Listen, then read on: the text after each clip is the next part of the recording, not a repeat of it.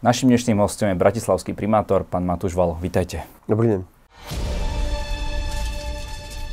Pán primátor, dnes sa koná ustanovujúci snem vašej strany. Budú nejaké prekvapenia? No, nebudú, žiadne, nerátam so žiadnym Takže vy predseda? Áno, e, kandidujem na predsedu, ale je to, je to vlastne taký, že ten ustanovujúci snem, to znamená, že tá strana sa rozbieha a my sme komunita už dlho, to je dôležité a to znamená, že nerátam so žiadnymi prekvapeniami. Kto budú vaši podpredsedovia? A moji podpredsedovia budú ľudia, ktorí sú mi veľmi blízki, už veľmi dlho.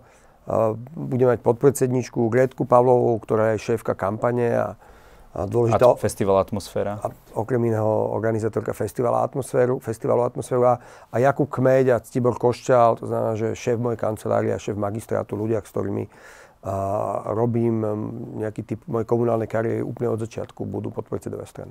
V súvislosti s tým robíte aj Kemp Bratislava, v súvislosti s komunálnymi voľbami, kde chcete mladým ľuďom čo to ukázať o komunálnej politike. Je to také, v odzovkách, také verbovanie ľudí do vašich radov? Nie, nie. Kemp Bratislava nie je úplne v súvislosti s voľbami. A Kemp Bratislava je s tým, čo sa už dlhodobo usilujeme robiť a možno práve ten kontext tej politickej strany nám v tom trochu pomáha organizačne. A to, čo sa usilujeme robiť, nie je politická strana. Ja som nikdy netúžil byť predsedom politickej strany, ani som to nemal v hlave. Boli sme k tomu tak donútení, kvôli tomu, že vlastne na to, aby naši kandidáti boli identifikovateľní na volebných lístkoch, musíme, musíme mať takúto formu a preto sme tú stranu založili a poctivo sme si vyzberali 12 000 podpisov ale my z toho mm, v podstate tej nutnosti robíme dobrú vec a bereme to ako rámec na, na, na tej našej komunity, ktorú budujeme veľmi dlho a Camp Bratislava je súčasťou možno rozširovania tejto komunity. Ide o to, že hľadáme ľudí, ktorí majú vášen pre Bratislavu. Áno, a aj vášen pre veci verejné. Nemusí to byť iba komunálna politika, môže to byť veľká politika, ale nám ide o to, aby sme dali možnosť uh, nejakým spôsobom otvorili cestu k uvažovaniu o veciach verejným mladým ľuďom, najmä mladým ľuďom. O tom je Camp Bratislava. Je to úplne že prvý ročník založený, budú to 4 dní, každý deň má inú tému, jedna téma napríklad Bratislava. A budú tam zaujímaví hostia cieľom toho nie je, že zverbovať nových ľudí. Nikto... Takže nie je povinnosť, že musí potom kandidovať nie, alebo vôbec, vstúpiť do, do, do týmu my Bratislava. my už, že kandidátku listiu máme vlastne skoro úplne plnú uh, v dlhšiu dobu. Ani to nemá nič s týmom Bratislava ako politickou stranou. Je to dať je to o vytvorení platformy pre ľudí, ktorí sa zaujímajú o to, čo robíme, o, to, o, o správanie veci verejných, na to, aby dostali informácie, aby možno sa vedeli porozprávať s niekým iným. Veľmi veľa ľudí, mladých ľudí za mňou chodí a hovorí, alebo mi píše, že sledujeme, čo robíte. V škole sme vás mali, akože mm, robil som prácu o tom, čo robíte pre mesto. Je tu veľa ľudí, ktorých to zaujíma, veľa ľudí, ktorí sa chcú angažovať a ja si myslím, že to je veľmi dôležité. Takisto som sa ja dostal, možno nie cez nejaký podobný kemp, ale iným, iným, iným, iným stretnutím som sa dostal k tomu, čo robím dneska a je to dôležité. Vy už máte prvého protikandidáta, je ním bývalý člen republiky, pán Miroslav Heredoš. Viete o ňom niečo? Začala už kampaň. Neviem o ňom nič. A, a, asi ani nechcem vedieť. Uh, Zažili ste už nejaké také predvolebné útoky, klasické, či ešte čakáte, že to príde neskôr? Cítime to. Myslíme, že aj počet platených trolov sa zvyšuje. My to vieme relatívne veľmi dobre v tom online priestore rozlišovať. Máme na to nástroje. A vidíme ľudí, ktorí z ničoho nič začali blokovať blogovať, aj blokovať o Bratislave, vyťahujú sa staré veci z roku 2019, sú vymýš- veľa vymýšľaných vecí sa objavilo. Takže nedá sa, da, je to cítiť, ale ja som relatívne veľmi od toho odrezaný. Ja mám svoju prácu, na ktorú sa sústredím a, mm, a nejak sa tým nenechám vyrušovať. Musím ale povedať, že ak budeme mať akéhokoľvek protikandidáta na dobrú diskusiu o Bratislave, ja sa ne, veľmi teším. K tým blogom sa ešte určite dostaneme. Poďme ešte k tým aktuálnym veciam. Ako vnímate zbúranie Istropolisu? Istropolis nebol v mestských ani štátnych rukách. Mal to odbor, odborárska organizácia, ktorá ho predala súkromnému developerovi a už vtedy, keď sa ten predaj uskutočnil, bolo asi každému insiderovi jasné, že mm, developer nebude rekonštruovať Istropolis, ale ho bude chcieť búrať. Je veľmi, sú viaceré budovy, za ktoré sa oplatí bojovať. Aj z čia socializmu, veľmi kvalitné veci Samozrejme, historické kultúrne pamiatky sú veľmi dôležité a, celý industriál možno konca 19. storočia v Bratislave bol v podstate zničený a to sú budovy, za ktoré sa naozaj oplatí bojovať. Pre mňa aj ako architekta budova Istropolisu nebola v tejto kategórii. Aký máte názor na možnosť výstavby Národného kultúrneho a kongresového centra? Potrebuje takéto niečo Bratislava? Malo by to byť možno na tom mieste? Bratislava určite potrebuje akúkoľvek kvalitnú kultúrnu infraštruktúru. To je veľmi dôležité. Nemáme PKO. Bola obrovská rada pre Bratislavu. PKO boli, boli dve skvelé sály. Jedna 3000, druhá 5000 na státe. By the way, zrekonštruované asi pred 20 rokmi, takže v dobrej kondícii. A my potrebujeme nájsť, e, nájsť e, nové miesta pre kultúru, kde sa dá robiť možno nie v stovkách, tisíckach, ale možno v 5000 5000 ehm, kapacitnú sálu na státe. A bol by som rád, keby štát prispel na takú sálu v Bratislave. To, že si zvolil túto cestu, že mm, to išlo dať developerovi, asi neviem, či to je šťastné.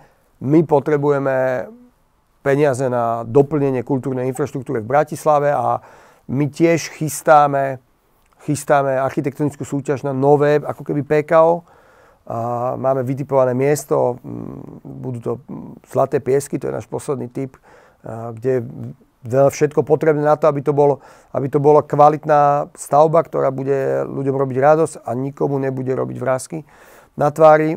A každé euro investované do fyzického priestoru pre kultúru sa nášmu mestu veľmi vráti. Takže No ide o to, že Bratislava nemá zrejme takýto reprezentatívny uh, kongresový priestor. Vieme, neviem, či ste boli niekedy na Globseku, že aké je to tam uh, narvané.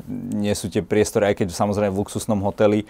Neviem, či je to úplne ideálne na tie mo, rokovania štátnikov. A... Mojou úlohou nie je ako keby riešiť kongresy v Bratislave. To je akože nejaký typ. Ale nie je to niečo také, čo dodáva nejaký punc tomu mestu, predsa len píše sa o ňom vo svete a tak ďalej? Tak Neviem, či by som chcel, aby Bratislava bola známa tým, že sú dobré kongresy. Není to úplne. Ja mne záleží na tom, aby Bratislava bola známa a najmä medzi svojimi obyvateľmi tým, že to je kvalitné, pekné mesto.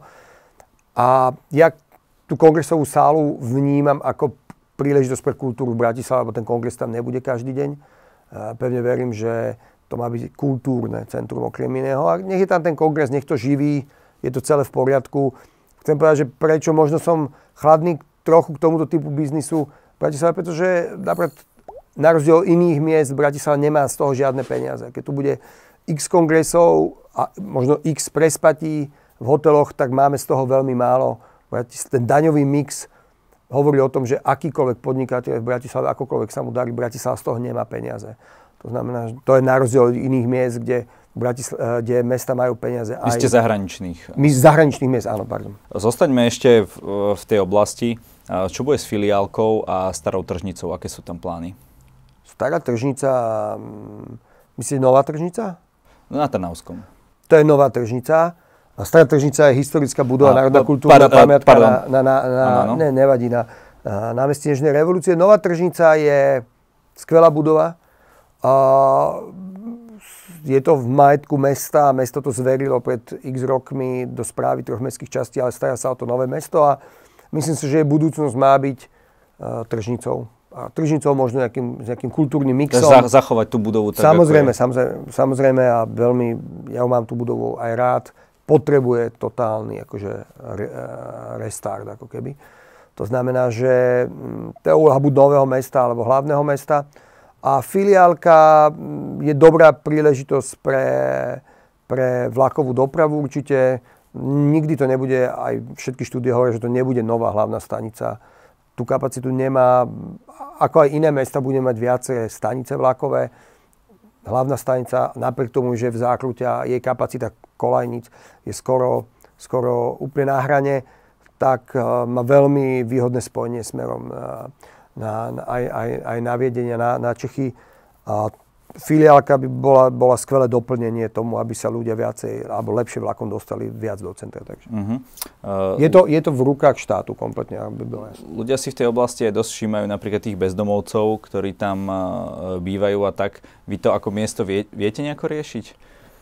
Bývajú na filiálke? Nie, nie, ale v tej oblasti, napríklad v tom podchode a tak ďalej. Trnavské mýto je mm, veľmi komplikovaný mestský úzol, veľmi dôležitý prestupný úzol, jeden z najväčších križovatiek v Bratislave a podľa informácií, ktoré mám, jeden, jeden z najväčších úzlov drogovej trestnej činnosti v Bratislave.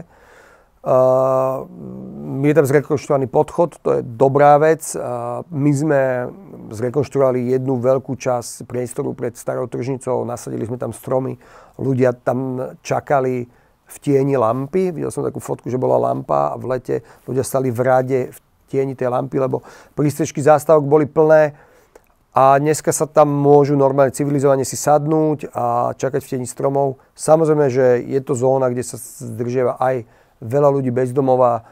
My máme terénny tým, ktorý, ich, ktorý je s nimi v kontakte.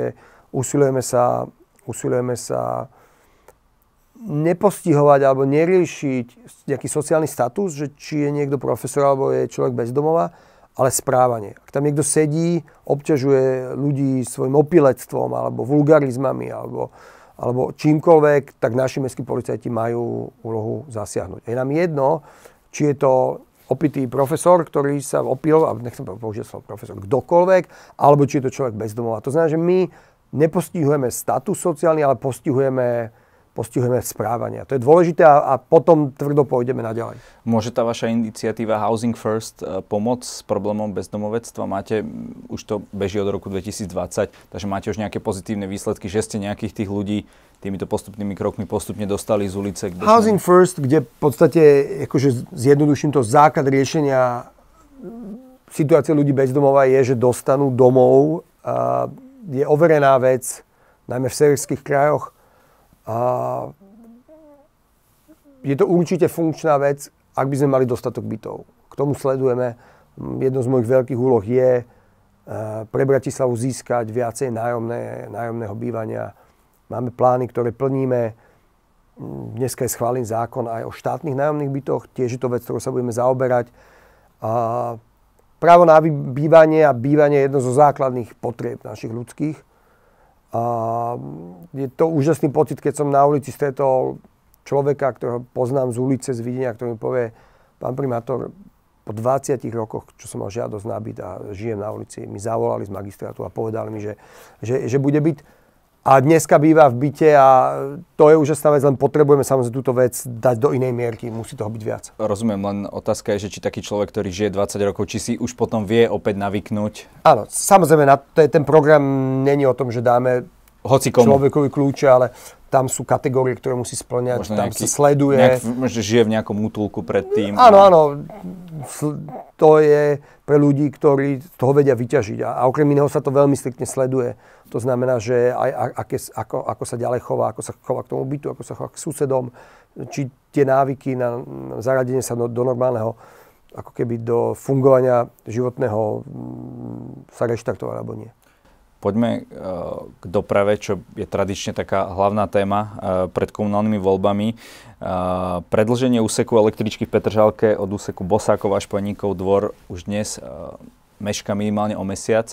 Ako chcete zabrániť ďalším meškaniam a sú ohrozené tie eurofondy, ktoré sú do konca roka 2023? Určite, a poviem to úplne jasne, a poslal som to listom aj ministrom a ministerkám, ktoré sa venujú tejto téme, kvôli našej vine žiadne eurofondy ohrozené nemôžu byť, pretože ak boli dedikované pre Bratislavu nejaké eurofondy pre dopravnú infraštruktúru, my ich vieme využiť aj inými spôsobmi ako na električku. To znamená, že keď oni majú obavu, že Bratislava neminie peniaze, nie je to pravda. My máme nachystané trolebusové trate, veci, ktoré, keď som im to pred pol rokom komunikoval, sme boli schopní krásne dokončiť do roku 2023. Ale samozrejme električka je naša hlavná téma električku ideme fázovať, to znamená, že to, to sú technické detaily, ale budeme ju roz, je financovanie budeme rozkladať na dve programovacie obdobia. čo je dôležité povedať, že máme problém ako každá veľká stavba v Európe a nie len, kde väčšina, väčšinový materiál je ocel, máme problém s extrémneho nárastu cien. A dneska je, sú práce na trati utlmené z dôvodu toho, že zhotoviteľ radšej zaplatí pokutu a odstúpi, ako by mal vyrábať veľkú stratu. Samozrejme, my sa vyrába, bavíme o tom, že a, dneska už konečne po mesiacoch čakania sú aj od štátu známe, aké také rámce toho, ako môžeme tú cenu navýšiť. Máme za sebou úspešné rokovania, je to španielská firma z ich CEO z Madridu, sme sa dohodli, pokračujeme v tom ďalej. A pevne verím, že o chvíľu predstavíme chudej verejnosti spôsob, ako sa táto stavba dofinancuje a, a že práce sa rozbehnú na novo. Máte dostatok kvalitných projektantov na meste? Tak my používame veľmi veľa Uh, teraz, keď sa bavíme o architektoch, použijeme veľmi veľa architektov z externého prostredia, robíme veľmi veľa súťaží. Myslím priamo projektantov, lebo architekt e, načrtne nejaký ten návrh, ale potom ho... Nie, nie, mesto nemá vlastnú projekčnú kanceláriu, kde by akože projektovalo veci. To všetko si outsourcujeme. Aha, rozumiem. Ešte u tej dopravy zostaneme. Jedným z vašich hlavných predvolebných bodov bolo stav, stavba cyklotras. Chceli ste ich e, postaviť až 25 km, najmä tých segregovaných. Podarilo sa vám 13 a väčšinou, e, väčšina z nich nie je úplne segregovaných a povedali ste, že budete sa bicyklovať po Bratislave v spodnom prádle. A ak tento slub nesplníte? To, to bolo inak, to bolo, keď neurobíme do roka nejaký typ jednosmeriek vtedy a Uh, myslím, že dúfam, takže toto ste splnili. Takže... Tie, tie, niektoré tie jednosmerky sa, sa, sa vtedy splnili, ale, ale mm, nemám problém sa akokoľvek bicyklovať po Bratislave. Problém mám, že tých 22 km segregovaných cyklotras nebudeme mať uh, za tie 4 roky. Budeme mať 16-17 km uh, nových cyklotras, ktorých nie všetky sú segregované. Toto ma mrzí, toto ma hnevá. Na druhej strane ja presne viem, aký je za tým dôvod. Uh, trošku sme si mysleli, že tá cyklotéma je na meste niekde posunutá a bola úplne na bode nula. Keď som sa stal primátorom, bolo nula ľudí zamestnaných na magistráte, ktorí sa venovali cyklu. To znamená, že my sme vyrobili tým, dneska máme tým. A ten tým ste začali budovať hneď od začiatku? Alebo... Áno, hneď od začiatku, ale dneska robiť cyklotrasu je relatívne komplikovaná vec. Sú tam, je to dlhá líniová stavba, to znamená, že prechádza cez mnohé pozemky, ktoré, ktoré sú dôležité vyriešiť. Treba tam stavebné povolenia a my som presvedčený, že budeme mať rozpracovaných a na konci tohto volebného obdobia naozaj veľmi veľa cyklotras. Pred voľbami ste hovorili aj o záchytných parkoviskách, najmä pre návštevníkov Bratislavy. Tam bolo takéto video, že akoby to auto príde a pred neho stena a postaví sa parkovisko. Uh, to sa vám podarilo? Myslím si, že určite. Uh, okrem toho, že máme vymyslené, naplánované záchytné parkoviska, ktoré budeme v čase robiť a otvárať, pretože oni budú, čím viac bude pás, parkovacia politika aktívna vo viacerých zónach mesta, tým viac ten tlak na to, alebo tým viac tá vôľa tých ľudí nechať to auto pred Bratislavou bude narastať, ale otvárame z veľké záchytné parkovisko na príkonečnej električke v Rači. Za niekoľko dní máme v Petržálke prichystané, máme dohody s veľkými obchodnými reťazcami, ktoré majú voľné kapacity na kraji Bratislavy máme záchytné parkovisko Cintorín v Rakúňa, ktoré ideme ešte nejakým spôsobom upravovať. To znamená, že na toto my sme pripravení, tu e, riešime parkovisko záchytné pri Inchebe. Na toto všetko my sme pripravení a čo je dôležité, e, potrebujeme ďalej pokračovať v e, regulovaní parkovacích miest v Bratislave, pretože ak človek môže stále prísť do centra a zaparkovať zadarmo, v 21. storočí v hlavnom meste zadarmo niekde na ulici, tak veľmi ťažko ho donútime, aby to auto nechal eh, na tom záchytnom parkovisku. To, to znamená, že to ide ruka v ruke a dneska máme zaregulovaných možno 11-12 eh, tisíc parkovacích miest aj v širšom centre, aj priamo v centre a budeme v tom pokračovať. To je tá dôležitá vec a tam ideme uh, s nejakým meškaním podľa plánu a podľa mojich slubov, ktoré som dal. Pred voľbami nie sú to sluby, na ktoré sa ľudia tešia. Je to veľmi politicky ťažká, nepríjemná vec, ale ideme do toho, lebo je to dobre pre naše mesto. No a bude tam nejaká tá časová súslednosť, že najskôr budú tie záchytné parkoviska, až potom sa to kompletne zreguluje to mesto, že bude mať ten návštevník Bratislavy, ktorých je, ktorých je veľa na dennej báze, uh, naozaj, že sa, či sa nestane taká situácia, že nebude vedieť, kde zaparkovať. Centrum to už bude, bude dobre, To už bude dobre znamenie, keď, keď naše záchytné parkoviska budú plné, ale Ale... Tak som to nemyslel. Myslel som to tak, že ešte nebudú tie záchytné parkoviska hotové a centrum bude už zregulované. Myslím si, že na to samozrejme myslíme a že to bude, že to bude v poriadku. Bratislava stále bojuje s tým, že tu býva kopec ľudí, ktorí tu nie sú prihlásení na trvalý pobyt. Podarilo sa vám aj vďaka tejto parkovacej politike a vidíte nárast ľudí, ktorí si tu prihlasujú trvalý alebo dočasný pobyt? Tak my sme urobili veľkú kampaň, keď bolo ščítavanie obyvateľov. Po desiatich rokoch bol cenzus e, každých 10 rokov. Dopadol pre Bratislavu tak, že... 16 miliónov plus? 16 miliónov eur príde vďaka tomu každý rok do Bratislava navyše, čo je skvelá správa. 12 mestov, zvyšok mestskej časti. Takže náš cieľ sme splnili, ale aj sme sa na tom narobili. Čo ma mrzí, že si myslím, že to číslo není úplne presné. Som presvedčený, že dokonca trvalý pobyt má v Bratislave viac ako 500 tisíc ľudí.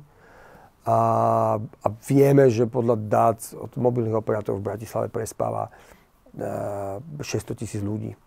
To znamená, že mm, budeme ďalej veľmi pozorne sledovať nárast a prírastok nových ľudí na trvalý pobyt a to je to, je to číslo, ktoré bude meniť aj to finálne číslo. Takže máte pocit, že, že to funguje, tá parkovacia politika, aby... No, tak zafungovala kampaň, zafungovala niekde aj parkovacia politika, ale opakujem, zatiaľ v parkovacej politike, ktorá musí nastúpať postupne, máme zregulovaných okolo 11 tisíc parkovacích miest. To znamená, že, že ešte potrebujeme sa viac rozrásť na to, aby sme väčší počet ľudí príjmeli k tomu, aby si dali trvalý pobyt. Prečítam vám súčasť blogu pána Gubča na portále IMBA o projekte Bratislava 2030. Na to, čo je najsilnejšou stránkou Bratislavy, čím chce byť známa a na čo sa bude zamerať, na to už Bratislava 2030 otvorene neodpoveda. Podobne ako iné plány, aj tento pravdepodobne skončí hlavne ako rámcový materiál pre čerpanie eurofondov. To je nakoniec jeho najdôležitejší účel. Vznik veľkej vízie v prvej polovici 21. storočia sa odkladá, ak jej víziou nie je ostať absolútne priemerným a prehľadnutelným mestom v rámci Strednej Európy. Čo vy na to? Nič. Neviem, prečo sa slova pána Gubča komentovať. Myslím si, že to nie je správne pochopenie tohto materiálu. Myslím si, že to je pohľad, ktorý je príliš teoreticky. Mm, Bratislava 2030 je 8 rokov. My sme nevyrábali nejakú obrovskú víziu nášho mesta. My dávame cieľ aj s ukazovateľmi na to, kam sa na, me, naše mesto má posunúť za 8 rokov a myslím si, že ten materiál je veľmi dobrý a takisto ako pri pláne Bratislava to bude materiál, ktorým sa budeme riadiť. Tu ide o to, nechajme teda e, názory e, pána Gubča, ale aby to aj možno tak ľudia vedeli, že akým mestom vlastne chce tá Bratislava byť to je veľmi dôležité. Preto sme sa aj veľa bavili s ľuďmi. Ten COVID to samozrejme akúkoľvek participáciu skomplikoval, ale veľmi, veľmi sa ľudia naučili chodiť do online priestoru a na, na stretu, stretnutia na, kvôli mestským veciam, čo ma teší. A mm, my sme mali dlhodobo podtext alebo taký podtitul tohto materiálu, že Bratislava mesto všetkých.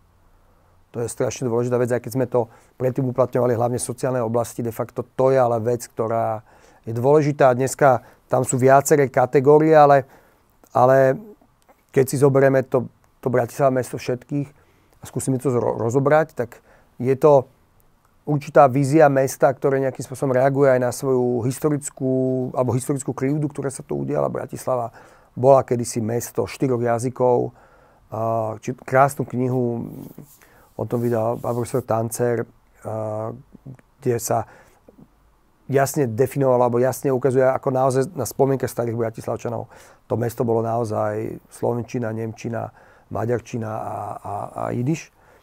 To znamená, že mm, aj vďaka socializmu, aj vďaka politickým turbulenciám, ktoré na, ktoré naše mesto prešlo a prešlo naozaj veľkými turbulenciami, tak e, sa vytratila táto taká ako nejaká multikulturálnosť, alebo teda to spolužitie, ktoré bolo niekedy dobré a niekedy zlé ako normálne spolužitia a práve preto hovoríme Bratislava mesto všetkých a dneska to transformujeme do novej formy.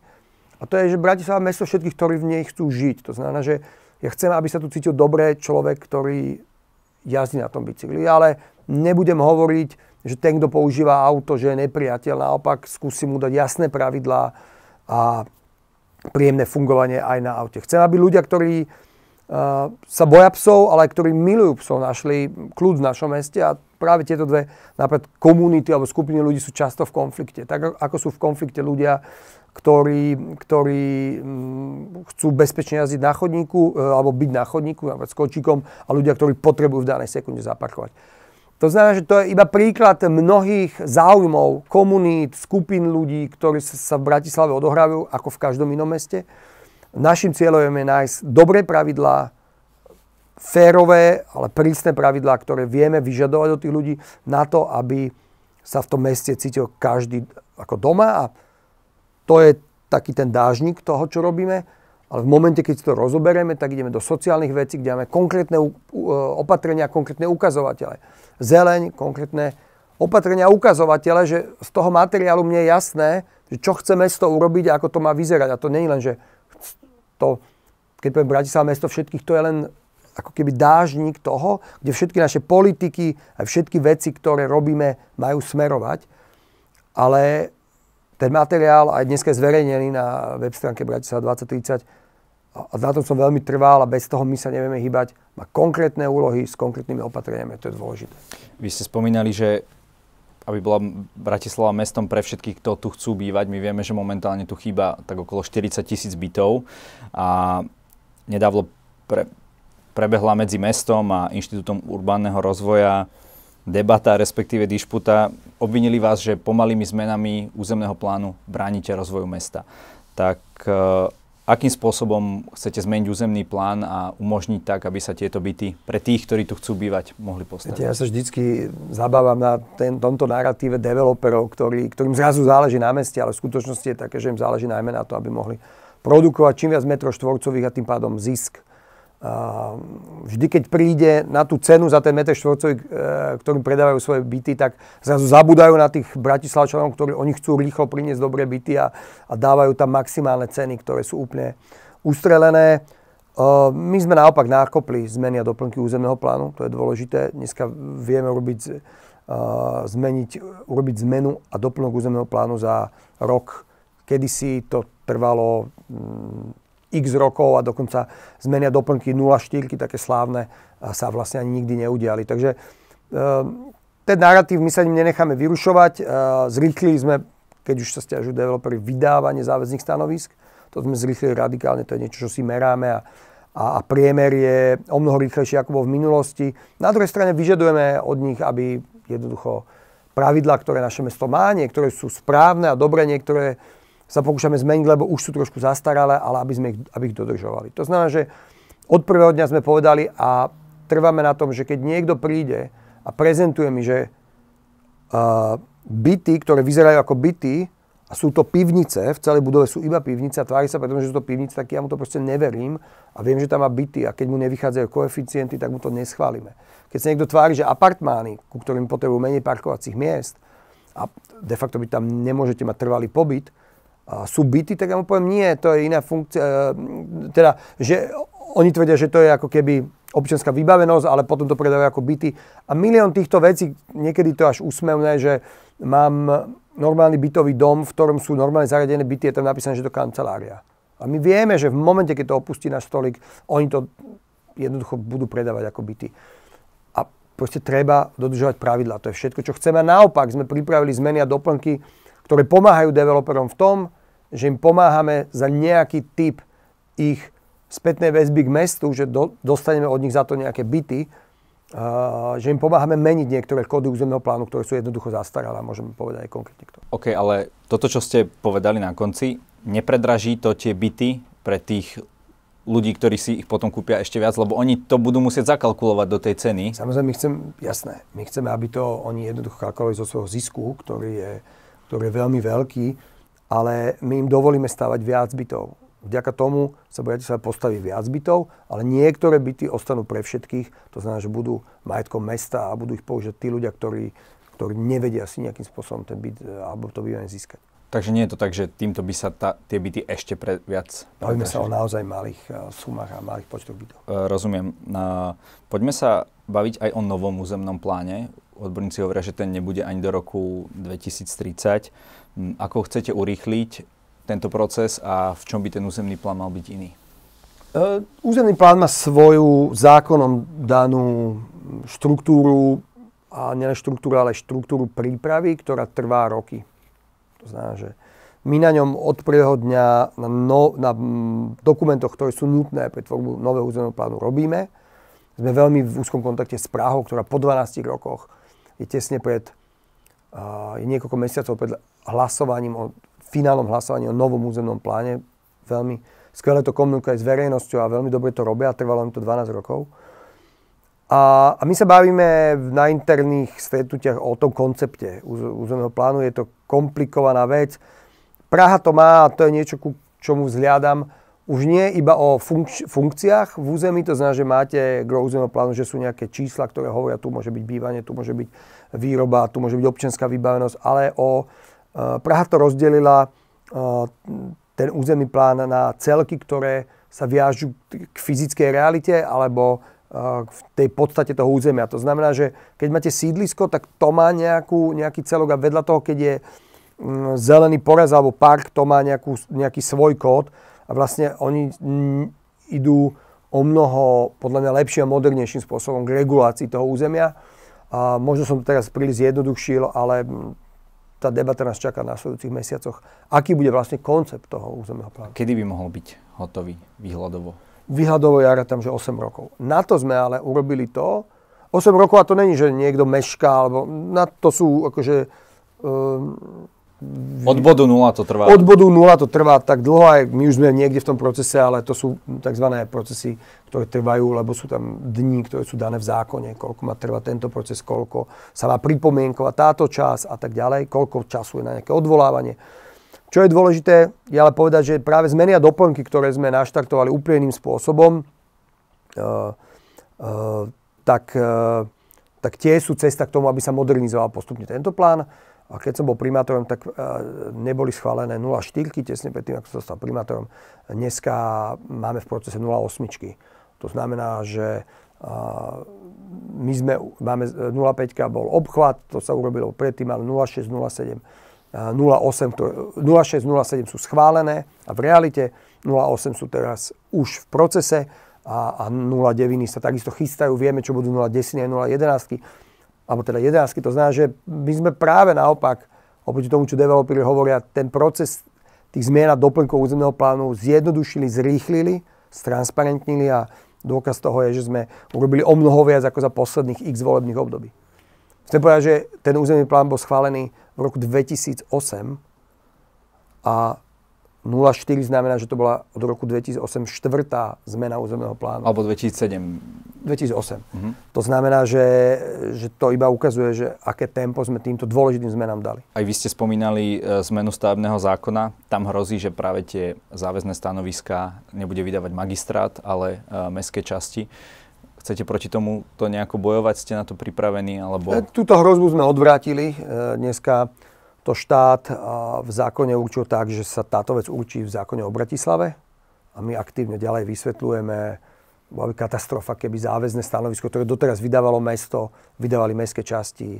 Každý, kto to chce, myslím, že a je to len malá skupina ľudí s nejakými záujmami, um, ukazuje, že nie celkom rozumie ako to mesto funguje všade, v každé mesto v zahraničí získava viac a viac väčšiu nejakú schopnosť regulovať väčšie územie okolo seba, pretože to mesto je jeden celok. Už dneska, keď hovoríme iba o Bratislave, už aj to je pase. Dneska by sme mali hovoriť... Nejaká municipalita. Presne tak, o nejakom municipálnom území, tak ako to je všade zahraničia. Keď sa bavíme, že tie rozhodnutia sa nebudú zväčšovať, ale naopak zmenšovať, tak to je úplný nezmysel, pretože v akejkoľvek mestskej časti môže vyrásť obrovský komplex bytový alebo akýkoľvek, ktorý ale ne, neurčuje iba život tej mestskej časti, naopak určuje život vo všetkých ostatných mestských častiach a v celom meste a tam má byť jeden centrálny orgán, ktorý vie posúdiť, či je to správne alebo nie. A preto si myslím, že záväzné stanoviska má vydávať hlavné mesto, ale ak by a bola veľké úsilie poslancov, myslím, že z Olano najmä, aby magistrát nemal tú schopnosť vydávať záväzné stanoviska, mesto Bratislava ako magistrát by stratilo absolútne možnosť hovoriť do uh, fyzického rozvoja nášho mesta, čo pokladám za absolútne škandalozne, že to vôbec niekomu napadlo. Uh, nebolo by riešením zrušiť mestské časti? Nie, mestské časti sú treba si povedať, že máme mestské časti, ktoré boli obce mm, a v 60 70 rokoch sa stali súčasťou Bratislavy, majú svoju tradíciu, majú svoju hrdosť. Je to skvelá vec. Bratislava je zaujímavá, ako aj mnohé iné mesta, ale Bratislava naozaj veľmi to rozmanitosťou, že máte to centrum starého mesta, akože staré uhorské mesto, alebo v podstate stredoveké mesto, a potom idete kúsok ďalej a máte normálne, že obec pri Dunaji bývalú, hej, ktorá naozaj má charakter obce a celé to je Bratislava, celé to má mnohé záujmy, presne, zase to platí, že Bratislava mesto všetkých.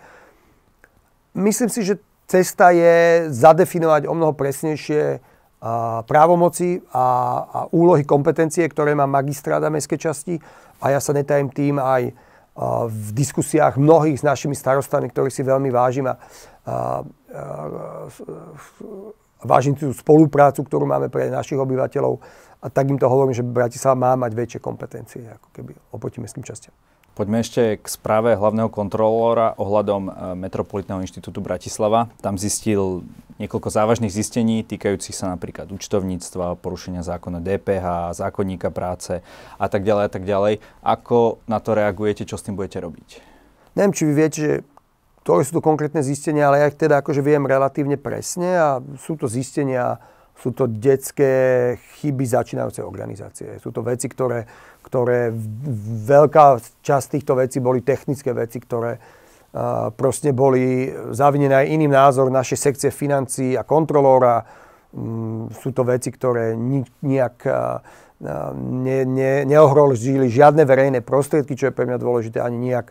Uh, pri pri takej organizácii ako magistrát uh, môžu nastať, že sa niečo sa zaučtuje, alebo niečo, niekde sa niečo nesplní podľa toho, ako vydalo nejakú metodickú príručku ministerstvo financí pred troma rokmi. A na to je kontrolor, aby, aby vrátil tú organizáciu späť, uh, späť do, uh, na, na, na správnu kolaj a myslím si, že mnohé z tých vecí už sú dneska opravené. Nebojte sa, mám tu niečo aj konkrétne vypísané, ale ano. iba jednu. Iba, iba, iba jednu. Uh-huh. Že nepredchádzala vzniku tohto inštitútu žiadna analýza alebo štúdia, ktorá by ukázala, že vytvorením takéhoto inštitútu by sa potom ušetrili verejné peniaze tým, že by sa znížil uh, počet outsourcovaných služieb, ktoré potom mesto si musí... Rozumiem tomu, je to nejaký typ názoru. My sme tú analýzu mali, my sme presne veľmi dobre vedeli, ako bol to môj volebný program, takže možno ju nerobilo mesto, lebo bývalí primátori nerozumeli vôbec, že takýto inštitút, ktorý má asi každé seriózne mesto v Európe, väčšie je nutný a, a ja som presvedčený, že a to vidíme na tých výsledkoch, že my bez skvelá organizácia, dobre, že ju máme. Myslím, že nikto to nespochybňuje už dneska. Spomínali ste tie blogy, e, tak pán Greguš e, v blogu Presme píše, že e, počet zamestnancov narastol z pôvodných 600 v 2018 na, na 1000 v 2022. E, je to pravda a čím to vlastne vysvetľujete? Poprvé, to není úplne pravda. Mm, myslím, že Bratislava nemá dneska tisíc zamestnancov. To je 990. Myslím, že dneska okolo 900 zamestnancov. Čo je pravda, že narastol počet zamestnancov magistrátu. A je to taká tá obľúbená téma, že chyťme, prechyťme toho politika na tom, že má viac ľudí zamestnaných vo svojom ministerstve alebo na magistráte, alebo nebodaj, že im dáva odmeny, nebodaj, že im zvýšil platy, no fuj. Tak ja si myslím úplne opak. A tá, tá politika mi nikdy nešla, to znamená, že ja vždy tvrdím to, čo si myslím, že je správne. A keď som sa stal primátorom, okrem toho, že som našiel na stole analýzu, a, ktorú robilo predchádzajúce vedenie o nejaký personálny audit, ktorý hovoril, že magistrát je výrazne ľudsky poddimenzovaný, a našiel som kopec skvelých ľudí, ktorí boli ubití, uh, ubití spismi a počtom práce a počtom pečiatok, ktoré musia vyriešiť za deň až do takého spôsobu, že im to bolo úplne jedno. To znamená, že mm, ten servis, ktorý dostávali Bratislavčania napríklad, že niečo potrebovali urobiť, bol o mnoho horší, ako je teraz. A a ešte je tu ďalší faktor, keď si zoberieme, že Bratislava je dneska mesto skoro s nulovou nezamestnanosťou a v akomkoľvek banke alebo u mobilného operátora máte, aj keď ste v strednom manažmente v podstate veľmi dobré podmienky a veľmi dobrý plát, je jasné, že bol problém zamestnať kvalitných ľudí. Ak chceme, aby naši ľudia dostali kvalitný servis a to portfólio tých servisov, ktoré Bratislava dáva ľuďom, je šialené. My máme zoo, ale máme aj olo. To sú tak dve vzdialené veci a medzi tým máme chodníky, cesty, zimnú údržbu, e, ľudí bez domova, 1200 ľudí v seniorských domoch. Proste obrovské portfólio služieb, ktoré dávame, my potrebujeme mať dobrý tím, ktorý je spokojný, má aspoň priemerný, alebo nie úplne podpriemerný, ale plat, má nejaké možno aj odmeny, je o nich postarané a majú robotu, ktorú vedia, že aj keď budú makať, že ju dokážu stihnúť urobiť v nejakom čase. To je základ každej organizácie. Ak to tak nebude, Môžeme, môžeme sa tváriť, že mám, znižil som platy na magistráte, mám tam málo ľudí, ale ľudia proste fakt je, budú dostávať zlý servis. To znamená, že ja si volím prvú šancu, nevadí mi, že je tam viac ľudí, vážim Len si... to je výrazný náraz. Až, až... A ešte, som, ešte to iba dopoviem. Áno, je to náraz, ale poďme si aj prečo to je výrazný náraz. Lebo sme napríklad založili komunálny podnik. Bratislava šetrí obrovské peniaze a neviem ich naspávať, ale máme ich vykalkulované, kosenie, zimná údržba, polievanie, to sú všetko veci, ktoré keď robí náš komunálny podnik, tak šetríme 30-40%, dokonca 50% v niektorých položkách oproti tomu, keď to nám robí subdodávateľ. A ten komunálny podnik mal pred mesiacom 107 ľudí a ďalej naberá. A oni dokým v tom čísle tých 900 bol zarátaný komunálny podnik. Dneska je už mesiac komunálny podnik samostatná firma, ale predtým to boli zamestnanci magistrátu. Založili sme oddelenie dát. My Uh, veľa vecí, drvú väčšinu vecí robíme na základe vyhodnocovania dát. Hej. Poviem iba príklad, úplne banálny príklad. Uh, najhorší a najproblematickejší ostrovček uh, a zástavka na Slovensku, zároveň najfrekventovanejšia zástavka na Slovensku je tá na Račku, kde boli veľmi úzke električkové ostrovčeky bez prístrežkov. Na to, aby sme ich mohli rozšíriť, potrebovali sme jeden cestný pruh. Ja som si všimol, že a to je naozaj že banálny príklad používania dát, ale dôležitý, že tie dva pruhy, ktoré idú z Radlinského smerom do Rače sú tak úzke, že auta vždy radšej pribrzdia a idú tam postupne. A my sme si to aj vďaka práce s dátami jednoducho dali nafilmovať, vyrátali a zistili sme, že 83% to bolo, myslím, aut, ktoré vchádzajú do tej križovatky, pribrzdia, idú za sebou postupne, lebo tá križovatka je tak úzka a tí ľudia čakajúci na električku, ich tam veľa, že to bolo riskantné a keď sme ten pruh dali preč a nechali tam jeden pruh a mohli rozšíriť tie zástavky, tak sa proste nič nestalo na tej ulici. Tie auta tam ďalej prúdia. A toto sú veci, ktoré, na ktoré ja potrebujem nejaký typ analýzy, nejaký typ človeka. Dneska máme rozšírený počet ľudí, ktorí robia našom IT oddelení. Dostali sme cenu ITAPA za to, že sme si naprogramovali sami doma náš portál na otvorené dáta. Štát od nás chcel za to, aby sme sa k ich 5 miliónovému portálu pripojili 500 tisíc eur. My sme to robili za 22 tisíc eur, ešte to dávame aj samozprávam, ak niekto o tom má záujem zadarmo.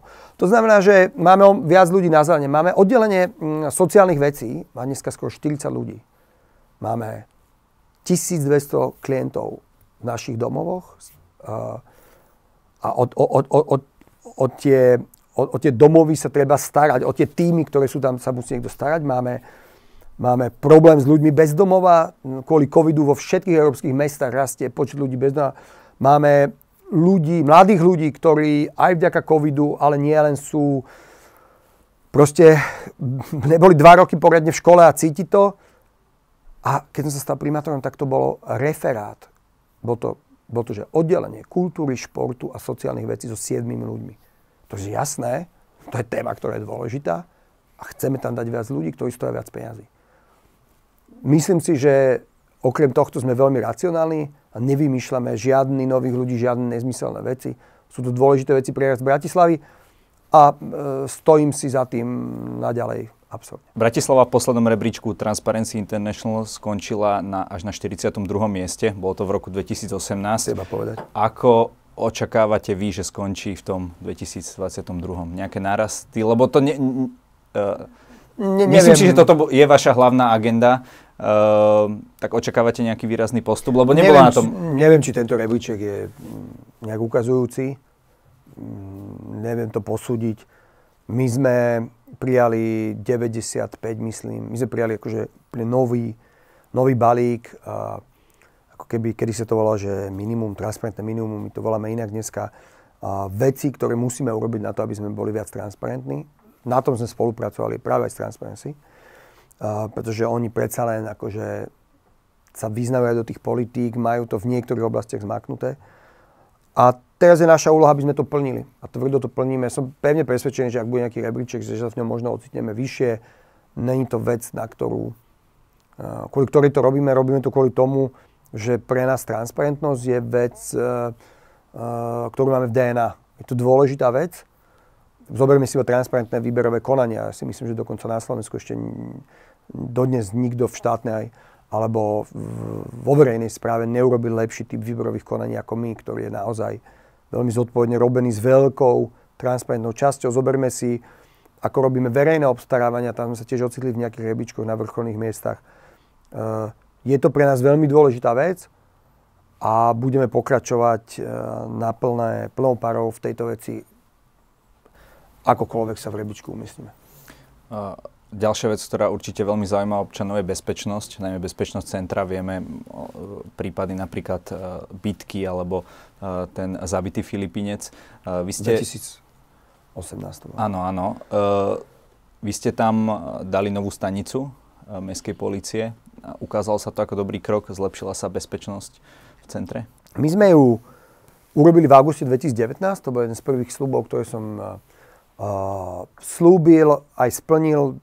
To je celkový koncept mestskej policie, s ktorým som prišiel ja po porade, teda, alebo prišli odborníci, je ten, že budeme mať viacero mesk, stanic mestskej policie v rôznych mestských častiach. V lete, zase v auguste, otvárame priamo v Pentagone. Mestskú stanicu včera sa to rekonštruuje. Včera som sa bol pozrieť na, na rekonštrukcii a robíme to preto, lebo vieme, že tá na Dunajskej, na obchodnej zafungovala. Potom otvoríme ďalšiu stanicu, myslím, že v Devinskej Novej Vsi a postupne ideme. Čo je dôležité povedať, bohužiaľ nevieme na žiadnej metrike presne zistiť, do akej miery sa zlepšila tá obchodná, pretože COVID úplne zmenil spôsob, ako sa ľudia zabávajú, aj počet ľudí. Vieme to, že už leto 2019 bolo o mnoho lepšie ako akékoľvek leto predtým, napríklad podľa rôznych ukazovateľov vo zavolania sanitky alebo tak ďalej. Máme stanicu, ktorá je otvorená 24-7, je to bezpečný prístroj pre kohokoľvek doma v tom priestore problém. Ale hlavná, hlavná vec tej stanici je, že je tam kamerový systém a o mnoho sme zväčšili počet kamier v okolí, cez námestie SMP, koniec obchodnej, obidva konce, celá obchodná. A princíp je jednoduchý. Za kamerami sedí človek v noci, hliadky sú nachystané. V momente, keď sa niečo deje, ten človek za kamer, kamerami to vždy uvidí skoro ako ktorákoľvek hliadka. Mm, vydáva príkaz. Máme tam, videl som video záznamy z bytiek, ktoré sme ukončili v prvých 30 sekundách bitky, lebo sme prišli. A mnohé takéto veci, ktoré sa podali urobiť. Musím povedať, že niektorým sa to nepáči, ale asi to je správna vec. Robia sa aj tzv kontrolovanie mladistvých a používanie alkoholu, tam je to obrovský problém a, proste keď ľudia nemajú 18 rokov a sú riadne opití, tak ich mestská policia beria a volá rodičom, porozprávaní policajti.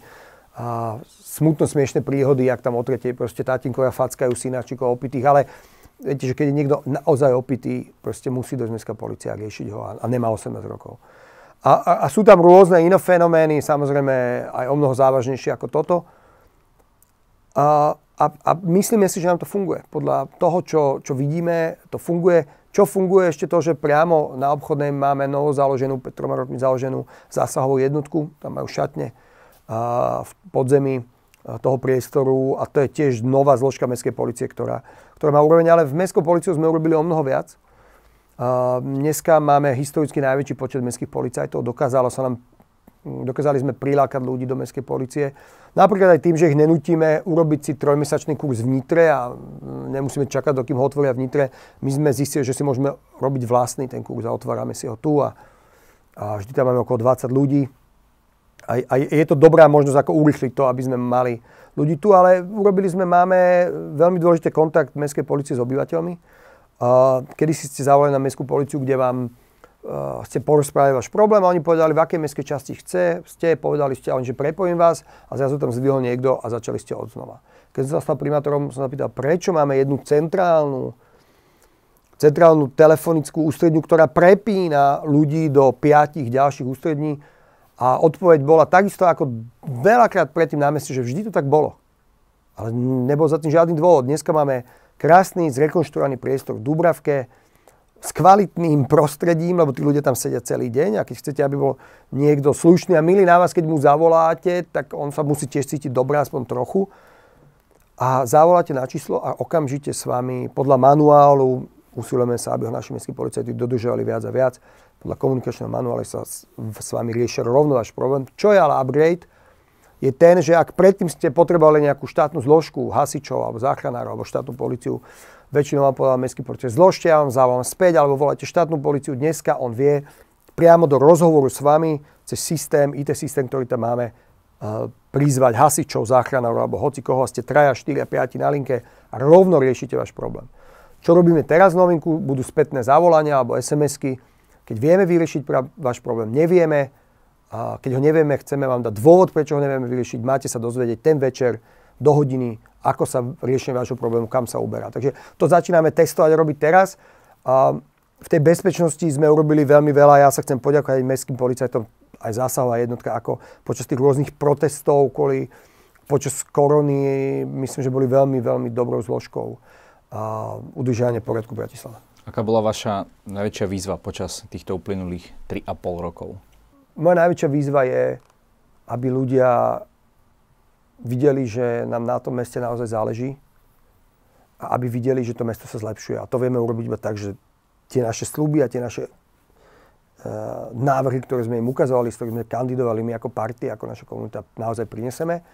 A ja ich mám zarámované u mňa v pracovní, môj hlavný slub, tie hlavné sluby mám zarámované a, a som pevne presvedčený, že drvia väčšina z toho už dnes je alebo bude hotová. A výzva je samozrejme sa nezblázniť. E, to je tiež dôležitá výzva, pretože tých problémov a tých tlakov je strašne veľa. E, musím povedať, že čo som šťastný, mám skvelý, skvelý tým okolo seba. Podarilo sa mi prilákať e, k práci magistrátu naozaj kvalitných ľudí a vďaka tým ľuďom to zvládame. Sem tam si aj zabrnkáte na bas gitaru, nie? Absolútne áno. Takže e, tým sa ventilujete, alebo vidím, že máte športové hodinky, e, behy, takže šport a muzika? Akože som človek. Naďalej som človek, ktorý má nejaké svoje koničky, a robí to, čo, mám, to, čo milujem. A skupina Para, kde hrám, existuje 27. rok tento rok a bolo by asi blbosť, keby som prestal hrať v pare. Takže nehrám žiadne firemné party s parou. Sú koncerty, kde nevládzem ísť, alebo mám povinnosť kvôli mestu, ale je to vždy večer. ten čas si častokrát nájdem a je to fantastický typ relaxu a je to niečo, čo som súčasťou veľmi dlho. A áno, a takisto sa usilujem behávať a mám celý rad úžasných neúspechov na poli behu. Mám pocit, že sa zhoršujem v tom behaní. Ostatní sa zlepšujú, ja sa zhoršujem, ale baví ma to veľmi, takže... Uh, bude nejaký predvolebný koncert Pary, tak ako to bolo pred 4 uh, rokmi? Ja som... Keď mi niekto povie, že no ale vy ste muzikant, ja poviem, že na mojej predvolebnej akcii som hral ako muzikant, takže nikto nemôže byť prekvapený, že som muzikant. A neviem, neviem, bol to, to ten koncert bol, pár tam, ja som tam hral asi iba dve pesničky a hrali tam kamaráti, muzikanti, bola to veľmi pekná vec, tesne pred voľbami a, a ja mám pocit, že dneska hlavná vec, ktorú ľudia budú posudzovať, budú moje výsledky. A nechcem sa za nič schovať, nechcem uh, nič zahmievať, budú výsledky, či som to, čo som slúbil, splnil. A o to sa usilujem. Uh, vy ste roky pôsobili ako aktivista, potom ste sa teda hneď ste išli do tej najvyššej pozície vlastne uh, v slovenskom komunále. Uh, čo vás na tom najviac prekvapilo? Čo ste vnímali ako aktivista inak, uh, čo už vnímate teraz inak ako, ako primátor? Strašne príjemne som prekvapený tým, že drvie väčšine ľudí, ktorí pracujú pre Bratislavu, na to naozaj záleží. Naozaj tam je hrdosť na to, že pracujeme pre tú Bratislavu. A to ste si predtým... To som si myslel, že predtým není, lebo ten, lebo ten, mal som pocit, že tí ľudia to berú tak formalisticky. Ten, ten servis od toho magistrátu nebol dobrý a stále má veľké rezervy, ale strašne sa zlepšil. Ale zistil som, že tie dôvody nebolo to, že by na tom ľudia nezáležalo, ale častokrát to bolo to, že tí ľudia na to nemali dobré podmienky. A to, je, a to sa môžeme vrátiť k debate, že prečo dneska máme viac ľudí na magistráte.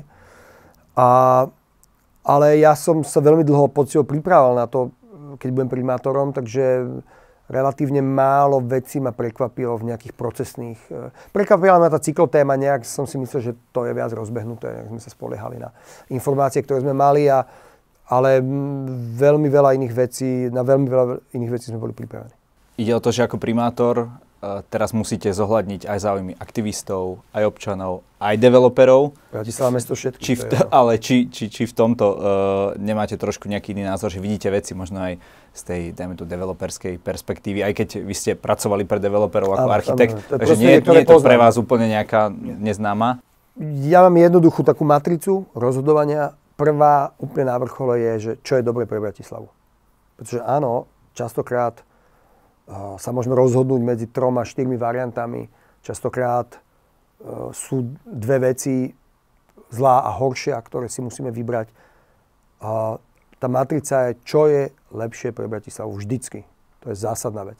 A potom samozrejme dodržovanie zákonov, pretože ja nepovažujem developerov za nejakých ako keby diablov. Sú to ľudia, ktorí s lakťami, niekedy ostrejšími, niekedy menej, pretlačajú svoj typ biznisu a dneska mnohí z nich to robia veľmi kvalitne. Kvalitné verejné priestory vznikajú okolo tých budov. Aj tie budovy sú už dneska kvalitné. Je to úplne iná vec ako v 90. rokoch. Ale a, a e, oni sú tiež ľudia, ktorí, ak dodržujú zákon, a pre nich hlavný zákon je územný plán, tak či sa mi to páči alebo nie, vydáme na to záväzné stanovisko, alebo dodržaný územný plán. To je pre mňa dôležité. To je to, kde sa ja to odpájam a robím tom menej politiky a viac strážim to, aby, aby boli dodržané veci, ktoré platia pre všetkých, to je dôležité. Tam ide len na to s tými developermi, že či naozaj nie, nie je pre to mesto najlepšie a najdôležitejšie, aby sa postavili tie developerské projekty, lebo oni si tam okolo seba tú infraštruktúru urobia a tie peniaze, ktoré sa použijú z tých bytov, môžete potom uh, použiť na rekonštrukciu napríklad ciest uh, v tom meste a tak ďalej, že či nie je primárne pre vás najdôležitejšie to, aby ste naozaj mali čo najviac obyvateľov uh, v tom meste? Nie, Určite nie a určite to neviem dosiahnuť tak, že dovolím developerom stávať, čo si čo len chcú. A neviete to takto zabezpečiť? Mm, je tu... Nechcete možno, že? Nie, nie, nie. Je tu... Územný plán je zákon, ktorým sa musíme riadiť. A keď developer vlastní pozemok, na ktorom podľa územného plánu môže stavať, tak samozrejme môže tam stavať. Hej? A to je celé. Tam ja ako keby do toho nevstupujem nejakými že teraz si myslím jedno alebo druhé. Proste to je nejaký typ zákona a s tým sa treba riadiť. Ale určite nie je môjim cieľom mať čo najviac postavených developerských projektov v Bratislave.